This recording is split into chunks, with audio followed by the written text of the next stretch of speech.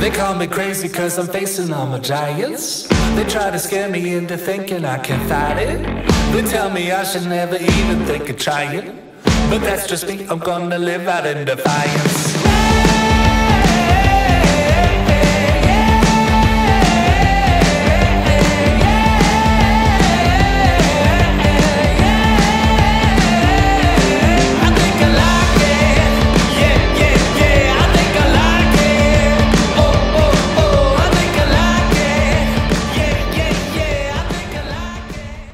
So the goal here is to make a half of a circle because that's the movement that we're going to be going in. So what I did is measure half of the wall, which is 11 feet. Now I'm measuring 11 feet from the wall so I kind of know where to guide my path of movement.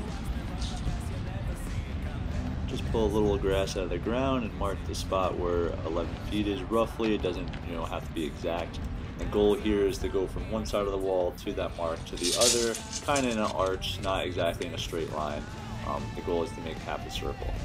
Then you want to start with the bricks of the wall fully covering the camera, walk to your mark, go back to the other side and make sure the bricks are fully covering the camera again. Here's just another view of it, fully covered by the bricks. The goal is to keep your subject centered on that crosshair as best as possible.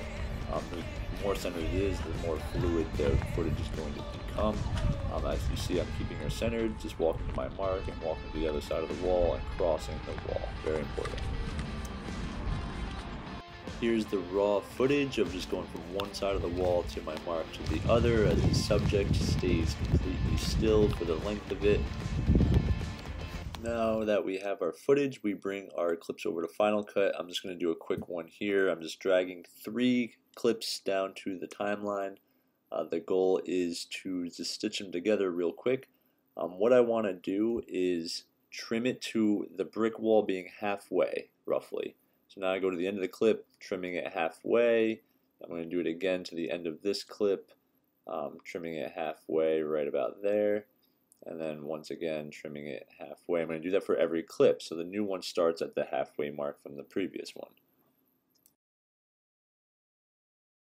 But you'll notice the clip starts on green and ends on orange and starts again on green and so on. So next, to make this look a little bit smoother, um, if you go to the effects and type in flipped, you could add that to the middle shot only, um, or every other one if you have multiple shots, and then you go to the time and reverse the clip.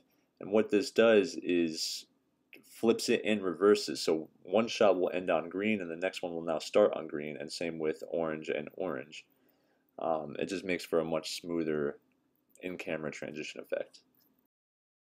Now all you really have to do is speed up the clip.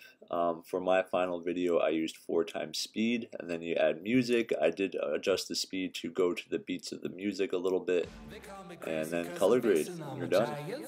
They try to scare me into thinking I can fight it. They tell me I should never even think of trying.